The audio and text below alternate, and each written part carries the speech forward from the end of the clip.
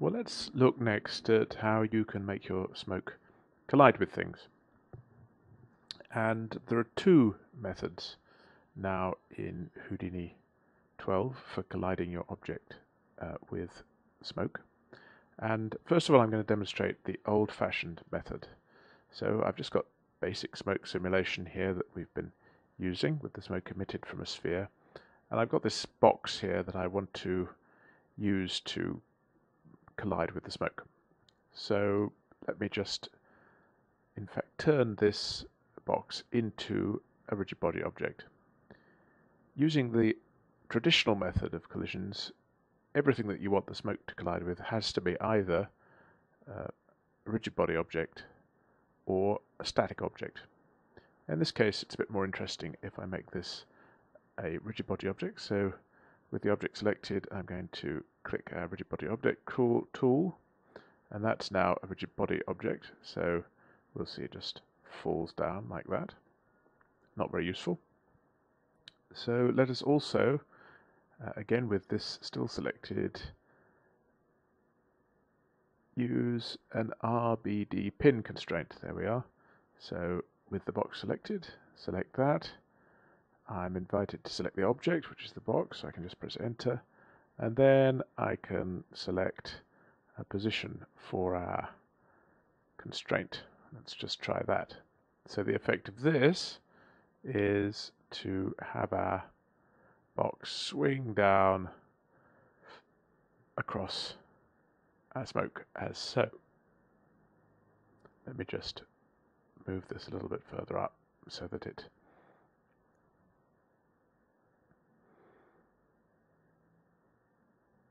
there we go. So what we want to have is this box interacting with our smoke. Now at the moment the smoke is all falling downwards because we have a gravity node here and that's acting on the smoke and as we saw earlier the buoyancy lift arising from the fact that our smoke is hot is has only got a value of 5 whereas the gravity has a value of 9 so what I'm going to do what I want to do is just apply this gravity only to the box I'm going to hit L to lay out these nodes so on the left hand side here we've got the Dynamics nodes that are manipulating our box, causing it to swing, uh, along with the RBD pin constraint down here. And then on the right hand side we have everything to do with the smoke. So if I move my, let's disconnect this and disconnect this. If I move my gravity node and put it here, let's reconnect this here, uh, the effect of this will be that only the rigid body object is going to get affected by the gravity and the smoke is not going to get affected by the gravity. So let me downsize that. What we should now see is that our smoke will rise upwards because of that. And then our box cuts through our smoke and we can see the velocity of the box is being inherited and forcing the smoke off towards the right hand side of the screen there. So this is the traditional method for making your objects interact with smoke. Next I'm going to demonstrate the new method of making objects interact with smoke.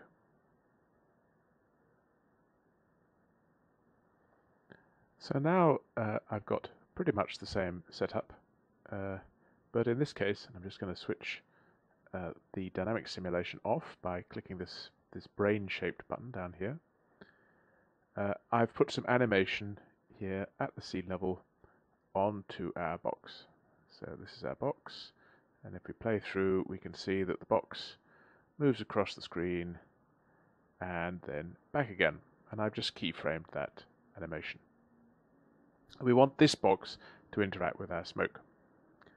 Well the new tool, tool available in Houdini 12 is here on the populate container shelf and it's collide with objects.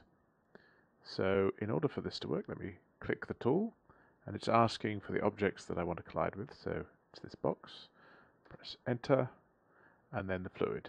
So select the fluid box and press enter. So let's have a now a look at our box and we can see that we've got the familiar fluid source node now inserted here into our box object.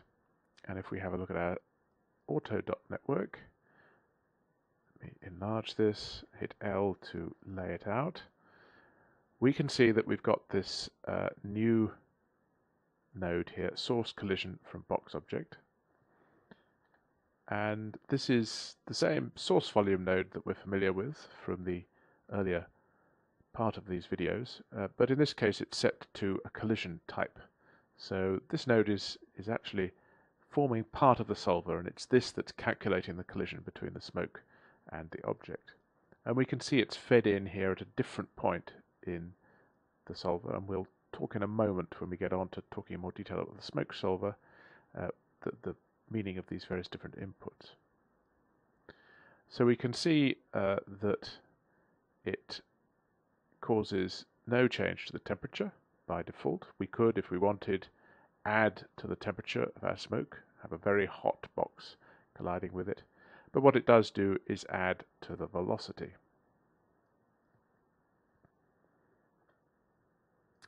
So this gives us more flexibility in handling our collisions. So let me re-enable simulation and I'm going to pause the video and just simulate the first 100 frames of this or so so that it's cached out and we can view it more quickly. So I've now simulated out the first 100 frames of that or so and we can see that our box moves in, collides with the smoke and moves off and then comes back again.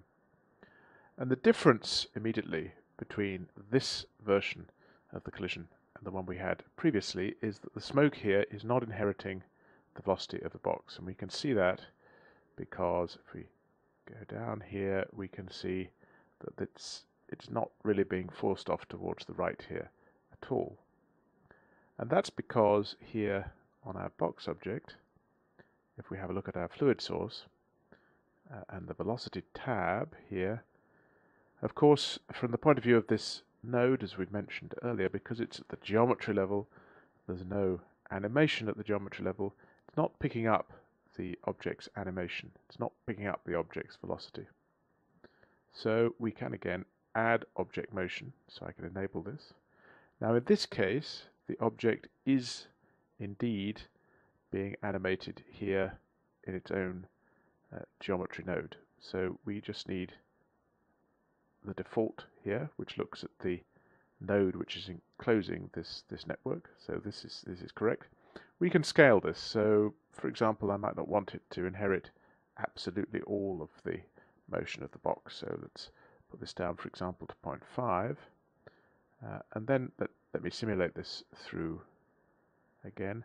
Sometimes it can be uh, distracting to have the visualization available here. So I'm going to actually put the display flag back on the box node so that that looks like a box and we don't get the visualization.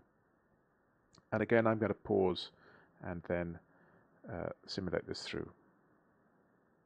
So I've simulated that through, and we can see as we scrub through that when it hits the smoke this time, it's forcing it much further off towards the right here. And then as it comes back, the same thing happens, and it's forcing it much further forward off towards the left. So that's how to inherit velocity from our box. We can of course also, just rewind this, we can of course also inherit some curl noise. So for example, if I wanted to liven up this simulation, I could add some curl noise. And that will mean that I'm going to just increase the size of these swirls maybe a little bit and maybe increase the scale of this. And so now this is going to create a lot more swirling motion as it cuts through the smoke because it's inheriting that, that curl noise that we've added. So once again, I'm going to simulate through and demonstrate this. So let's have a look at it. And we can see that it's, let me just pause there, we can see all these strands of smoke that are coming out of the main body as the box passes through, and that's as a result of that curl noise that we added. And we can see then as it, as it goes back, again, we get a lot of very interesting swirling motion arising from the curl noise. So finally, let me demonstrate how to use uh, the addition of temperature to our collision object to affect our smoke. Now this is a pretty specialist thing for you to want to do, but I'll demonstrate it nevertheless. Well, to demonstrate the inheritance of temperature, we're going to use a slightly different setup. And in this case, I've positioned our source, as you can see, at the top of our smoke container. And I'm leaving the buoyancy and the gravity at their default values. So the result will be that this smoke will move downwards. And then at the bottom here, I've created a box, which I'm going to set up as a collision object. And I want it to inherit some temperature from this box. And as a result, for the smoke uh, to rise up again. So let's first of all select our box and then select the collide with objects tool, select our smoke container and press enter. And we've now got our box. And we should find, as this simulates through, that it will properly collide with the dark box and we can see it spreads out and then tips over the edge of the box. However, the box is not affecting the temperature of the smoke at all, it's, it's still moving downwards. So there are two reasons why it's not affecting the temperature. Uh, here if we have a look at the fluid source, uh, we can see that it's only creating a single scalar field called collision. And that's just a representation of this box for the purposes of calculating collisions. So we don't have a temperature field, and we're going to need that in order to add temperature. And secondly, if we have a look at our auto DOP network, uh, we can see here on the source volume node that handles the collisions that at temperature by default nothing is happening. There's no effect. So let's first of all address the issue of the temperature field. Now you may think that all we need to do to create a temperature field is to click the plus button here and to create a field called temperature. Now in fact that's not going to work and the reason that's not going to work is because we have the output SDF button enabled here. And an SDF is a different way of representing an object from a fog volume. And if you don't understand what I'm talking about here, it's worth having a look at my series of videos on volumes. But an SDF is a very useful way to represent an object if you're trying to calculate collisions with that object. But it's not the way that Houdini uses to represent a temperature field. So it's not going to work if we have a temperature field which is an SDF. So we're going to have to create the temperature field separately. So let me lay down a fluid source node here separately and I'm going to plug my box into it and we can leave the division size as it is and I'm going to make sure that this output SDF toggle is not enabled. That means that this will be outputting a plain fog volume. And in fact I'm not going to have density emitted. I'm going to have temperature. So we're going to create a field called temperature. I'm going to actually increase it to a scale of 5 so it's going to be nice and hot. It's going to push our smoke upwards. I don't in fact need to create a velocity field so we can leave that out and this should now work uh, note, by the way, that this border value is rather important. Uh, if we have a look at this, the way the SDF here is calculated, we can see that the border value is minus 1. So anything outside the volume representation of our box for this collision field has a value of minus 1. Obviously, we don't want that uh, for our temperature field. We want everything where the box isn't to have a temperature of 0. So let's then merge these two together. And I can middle click to see what's happening. And we can see in this case, I have one volume called collision. And in this case, I have one volume called temperature. And they're merged together and that should mean that we can import both of them. So back in our AutoDop network, uh, I need to make sure that this this was set on none, and we need to make sure it's set on add. And I also need to make sure that these two fields are filled in, so that we take the temperature field from that source object and we use it on the temperature field in our DOP simulation. Let me just put the display flag on the box so we don't get the distracting visualization and let's just see whether that worked. So what we should find is this falling down and then it hits our box and we can see that it gets warm and then it rises up. So that's an example of how to inherit temperature from a collision object.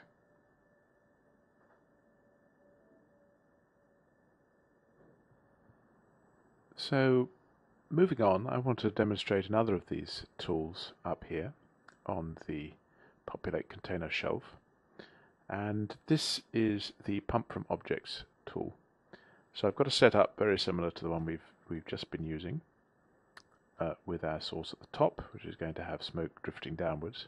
I've got a box here, and the idea of a pump is that it adds velocity to any smoke that enters the area defined by the object. So in this case, the smoke isn't going to collide with this box. The box is defining, if you like, a volume. And once the smoke gets inside that volume, it'll have a certain density added to it uh, a certain velocity rather added to it. So to set this up, I'm going to select my box, I'm going to have pump from objects, and then I'm going to select my container and press enter. And we'll be familiar with what happens, which is our box has this fluid source node, uh, and in this case it is creating two fields. Uh, there's a field called pump, which is defining the extent of the area in which our smoke is going to be affected. Uh, and then uh, there's a pump velocity field, which is defining the velocity that's going to be added. Now, by default, this is actually going to be empty, this pump velocity field, because we've, we've not got any velocity here. So I can, for example, add curl noise. So let me just do that. I'm just going to add noise in this case. And let me just increase the swirl size a bit and then demonstrate that. So let me, I'm going to turn off visualization of the box object because it, it interferes with seeing what's happening. So this smoke is going to fall down, it's going to hit our box, and when it hits our box, enters our box rather, it is going to have this additional swirling velocity added to it, which is going to produce this movement here. So once again, this is not being caused by a collision between the box and the smoke. This is being caused by the smoke's velocity being affected by those fields that we've created here. Alternatively, we dive back in here. I'll turn off the curl noise. Alternatively, we could just add some standard velocity. So let me give it a velocity off in the x direction, for example. Uh, and this is just adding a fixed velocity. So what we should see now is as smoke comes down, it enters the space occupied by the box and it shoots off in a positive x direction. So this can be quite a useful way to manipulate uh, the appearance of your smoke, putting these uh, pumps around to manipulate the direction of flow of your smoke or to add some curl noise in a particular part of your simulation.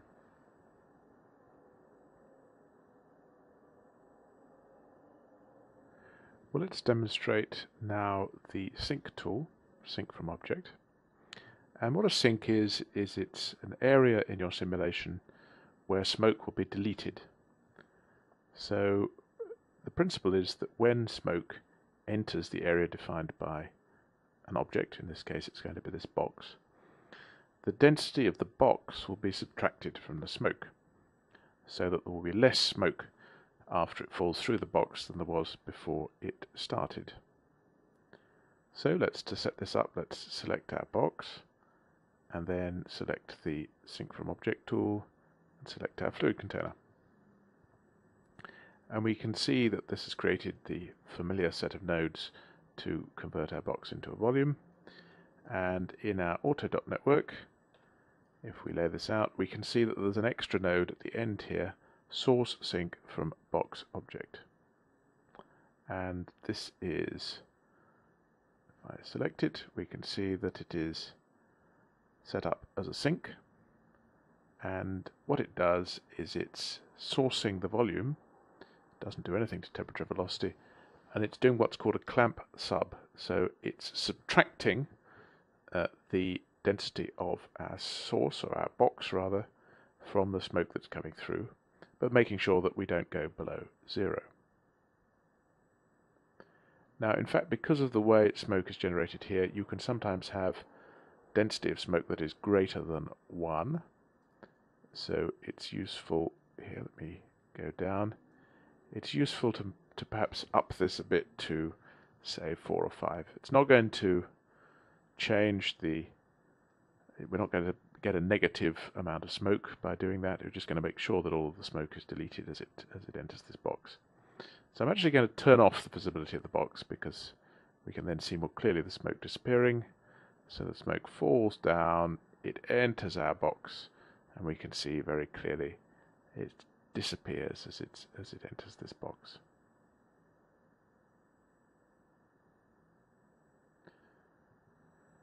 And to complete our coverage of the shelf tools here, let's have a look at the expand from object. And we've got our familiar setup, except I've got this sphere at the bottom here, this small sphere, and I'm going to select that, hit expand from object, select our fluid container, and press enter. So we now have these nodes attached to this smaller sphere, and this is creating a divergence volume. And a divergence volume, divergence, is a property of fluid simulations and it's to do with whether fluid needs to move away from a particular part of the fluid simulation or move towards it. And it's a pretty technical discussion. Um, I'm not going to go into the detail of why it works now, and probably divergence deserves a whole tutorial on its own. But in this case, all we need to know is that this is going to tend to force the smoke away from the center of this sphere. And to see this properly, I'm going to increase again the scale of this uh, because if you leave the scale at its default, it's sometimes a bit difficult to see. So let me just turn off the visualization of this and let our simulation simulate through. And what we should see, here we are, we, you can probably see there after it's passing this sphere, that smoke is expanding a lot. It's being forced away from the sphere.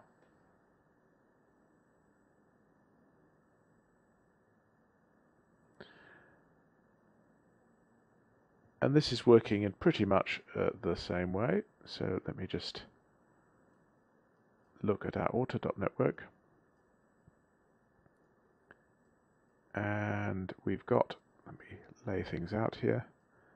We've got this node here, source divergence, which is again a source volume, and it's adding, in this case, it's adding the divergence field from our source to the divergence field in our simulation.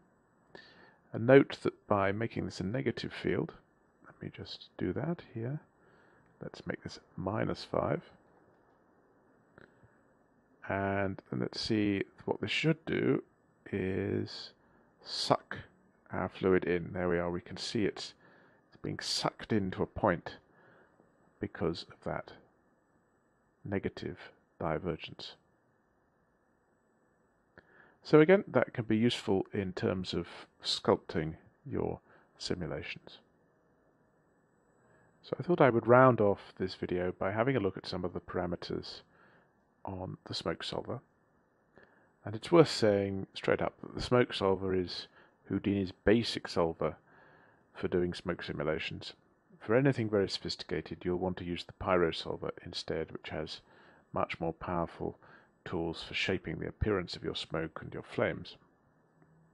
But nevertheless, some of the basic concepts are the same for Pyro and for smoke, so we might as well cover them here when we're looking at the smoke solver. And the basic parameters here on the simulation tab. And for those of you familiar with Houdini 11, you'll notice there are fewer parameters.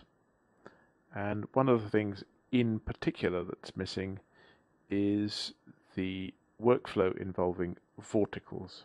Now, I won't go into that in detail now, but essentially the improved smoke solver and indeed pyro solver in Houdini 11, in Houdini 12 rather, means that you don't really need to use vorticles, which are a way of adding swirling into your into your uh, smoke, uh, because the curl noise and the sourcing and the revised solver mean that you get much more impressive smoke simulations anyway.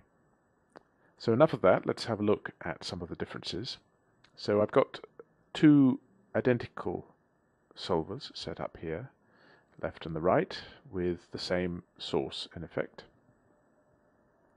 So let's first of all look at the issue of buoyancy. We know what it does. Buoyancy is a force which acts on hot smoke, causing it to, by default, rise upwards. And the reason it's rising upwards is because this value is positive rather than negative, and because this axis is set to be the y-axis, the, the upward pointing axis. So, for example, I can increase this force, uh, and then we should see this one on the left rise more quickly than the one on the right. Now, note that buoyancy is proportional to temperature. So if I'd scaled the temperature field of the source here on the left, uh, then it would in any case be rising more quickly than the one on the right, because the hotter it is, uh, the higher the buoyancy. So let's have a quick look at this, and we should be able to see uh, that, and I apologize, I've in fact left one of these parameters other than default, so let's put that back at the default, so they are now both the same apart from buoyancy, and we should see here that this smoke rises more quickly than the other. Let me revert that back to default. The viscosity is a control which looks at how thick your smoke is. And it does this by blurring out the velocity field a bit. So the smoke that's near a slow piece, a slowly moving piece of smoke, will be dragged back by it. So let's give this a, sort of middling value here, and we should then see that this shoots up. This one is moving, but it's moving very, very slowly indeed because that viscosity is affecting the smoke. And when you've got a simulation that's got a lot of movement in it, uh, it's probably a bit easier to see the viscosity. And let's revert that back to its default. So let's look now at these controls which deal with temperature, which are cooling rate and temperature diffusion. And in order to look at them, it's a good idea to introduce some of the other fields other than density, which is what we've basically been visualizing here, which are important as part of our smoke simulation. So let me have a look at our smoke object in order to see these fields. And we can see here under the Guides tab, uh, we have quite a large list of fields. Let me enlarge this so that we can see it. Uh, let me take away the multi-field, which is a sort of special field. But the ones that are actually being used in our calculation, or may be used in our calculation, are these. Density, temperature, fuel, divergence, burn, heat, velocity, collision, source, and sink? Well, in fact, not all of these are going to be used in a standard smoke simulation, though they will be used in a pyro simulation. In particular, when you're not using uh, the pyro simulation, you won't tend to use fuel, burn, or heat. Those are to do with the, the calculation of a burning reaction, which is, which is not what we're using here. So density is obviously the thickness of your smoke. Temperature is how hot it is. Divergence is that field that I mentioned earlier, which determines whether smoke needs to be sucked into a particular voxel or forced out of it. Velocity is obviously the speed of the smoke. The collision uh, field records the objects which your smoke is going to collide with. Uh, and that's under the traditional way of simulating collisions. The source is obviously where your smoke is coming from, and again that's the traditional way of looking at simulations. And then the sink is associated with the sink, which I uh, the sink the sink shelf tool, which I demonstrated earlier. So these controls that we're looking at on the smoke solver are to do with temperature. So let's visualize the temperature. And I'm going to visualize it also on the right here. Turn off the multi-field visualization. And these are set up here. We can control how they're visualized. These are set up by default using a black body visualization mode uh, with a range of 0 to 1. So these areas that are sort of fiery yellow have a temperature of 1. The redder areas have a lower temperature, and obviously the transparent area here has a temperature of 0. And what happens at every frame is that temperature is being added by the source, which we've we've seen. We've set up a temperature field, which by default has a value of 1. That temperature is being added at every frame, but also the smoke that's away from the source is getting cooler at every frame. And the rate at which it cools down is set by this cooling rate here. So if I were to, for example, give it a very, very high cooling rate, so this is really high, almost all of the temperature is going to disperse over the course of a second. And let's see the difference that this makes.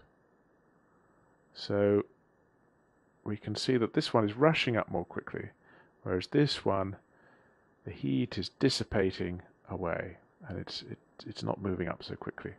And the reason it's not moving up so quickly is, as I mentioned, that the buoyancy is related to the temperature. So as soon as the smoke cools down to a temperature of zero, it's no longer going to have any buoyancy lift applied to it. And the result of that, let me just pause this, will be when we visualize density, that our smoke is going to clog up and sort of collect here at the top of our container because it's no longer moving upwards.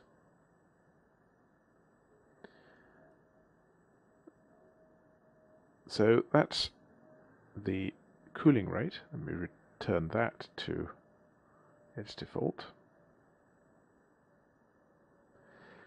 And then the temperature diffusion controls, if you like, the blurring of the temperature field over time. So if we have a look now, this has got a very high temperature diffusion on the left, and we can see that what happens is that temperature field is being blurred much more widely as a result of, of this higher temperature diffusion. In fact, I can increase this right up, and this this will diff diffuse much more quickly. And you may ask, well, what's the point of that in terms of a smoke simulation? And indeed, it's not re very relevant when we're dealing with smoke. It, it does have the effect of slightly cooling our smoke because the, the temperature is diffusing away from the smoke. It's more important, really, when you've got uh, pyro simulations and you've got big differences in temperature between one part of the simulation and another, or you're using the temperature of smoke or flames to ignite a fuel that's elsewhere in your simulation. And in those cases, the rate at which the temperature diffuses can be pretty important. Now the timescale parameter is important if you want to change the rate at which your simulation runs.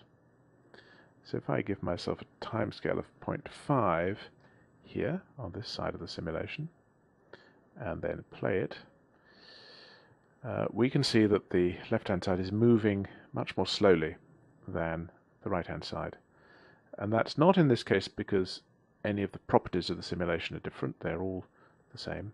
The only difference is that time has been slowed down here on the left, and this is producing, therefore, this slower simulation. And that can be useful for a number of things. Uh, it's often quite easy to get the look of a simulation broadly right, right, but then you find that actually it's changing too quickly and that it doesn't look uh, real. And by reducing the timescale, you can give it that stately motion that uh, smoke sometimes has. So that's the use of the timescale parameter. The next tab here are to do with relationships. And these are to do with the old-fashioned way of working with sources, pumps, collisions and sinks.